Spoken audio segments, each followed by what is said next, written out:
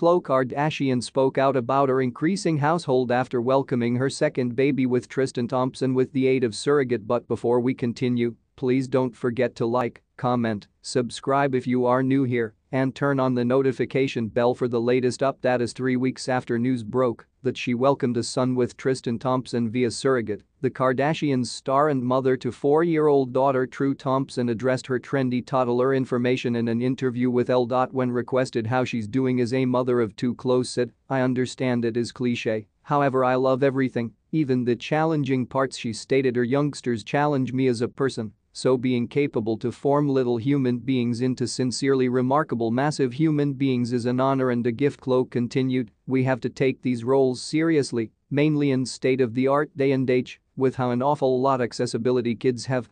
And the statistics they are uncovered to, so young it's terrific scary, however I take my job very seriously love it. So much this was once the first time Khloe in my view spoke out about her new baby boy with Tristan who was hit with a paternity lawsuit final year before take a look at consequences proven that he did father son Theo, 8 months, with Maralee Nichols Tristan, is additionally dad to son Prince, 5, with Jordan Craig. The Good American founder was keeping the being pregnant a secret to defend surrogate privateness and protection and to defend her intellectual fitness from judgment from the public as a end result of Tristan's actions. In fact, Khloe was once so tight-lipped about toddler number 2 that no longer absolutely everyone in her internal circle knew about it when the information broke, and she used to be forced to affirm that being pregnant earlier than she used to be equipped to announce through a assertion from her rep, the insider noted.